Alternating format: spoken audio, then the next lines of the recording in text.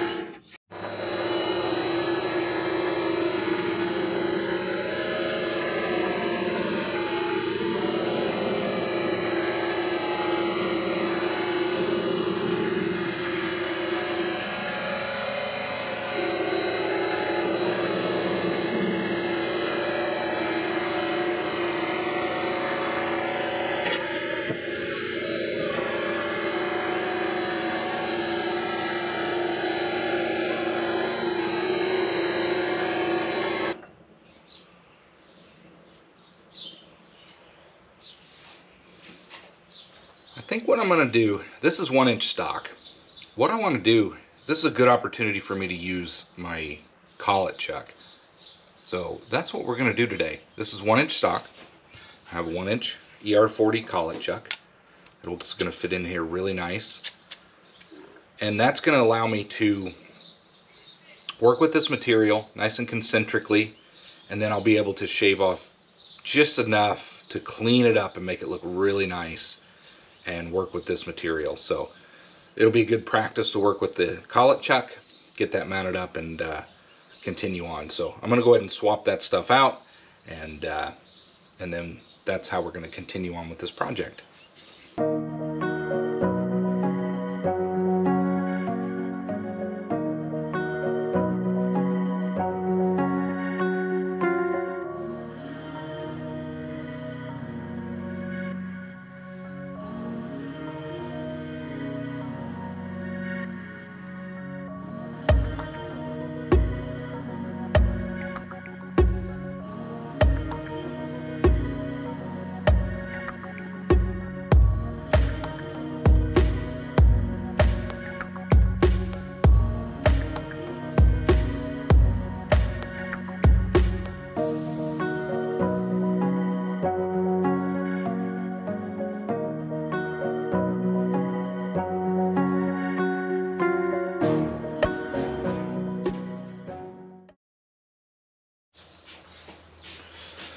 There we go. Let's see how we look.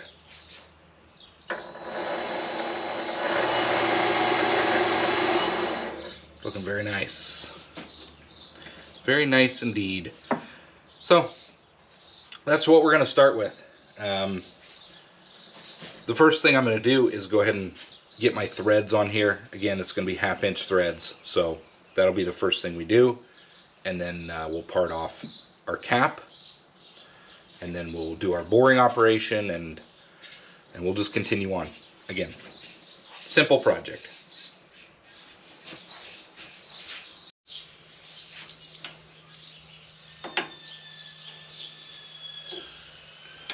We need to go all the way down to 490 thou.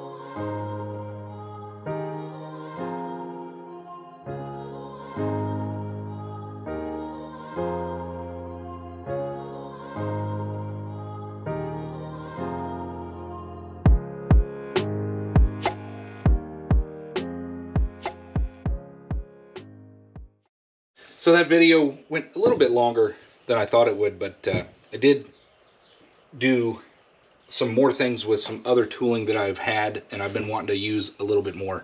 Um, the collet chuck, for instance, I'm starting to really like that. It's nice to be able to chuck up the round stock that's one inch of material with the one inch collet chuck. The the die holder that I that I made worked fantastic. The Irwin dies that I have also fantastic. I used the advice from others out there that said use your tailstock to start your taps and dies. It starts straight. That's what I did this time. I've improved on my die threading and I have really nice peaks on my threads. I'm really improving. It takes time to learn all this stuff. I'm getting there and a lot of it is thanks to all you folks and your advice out there. But things are coming along. Things are improving. But it's really nice to start using a lot of the tools that I've started to accumulate and acquire, purchase um, through the advice and through the research. And it's nice to be able to use this stuff. All right, let's close this out. That took a lot longer than I thought it would. So maybe this will be its own video. But the, the video is another tube of sorts. But this is going to be a gift for my brother. It's a toothpick holder, like I said earlier.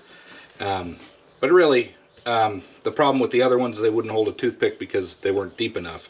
Toothpicks are two and a half inches thick if you didn't know. So this is going to be plenty big. Again, my threads are half inch thick. So here we go. I've really improved my threading using taps and dies. If you can see, I've got nice peaks on there. I'm really happy with those threads. I'm happy with the, the tap that I did. Plenty of room in there for a toothpick. The threads are very nicely done this time. Nice and tight. Not a lot of wobble. A little bit, but not, not too much. There we go. So, at any rate, I'm quite happy with that. So, toothpick holder done for my brother. Thanks for watching. Hope to see you on the next one.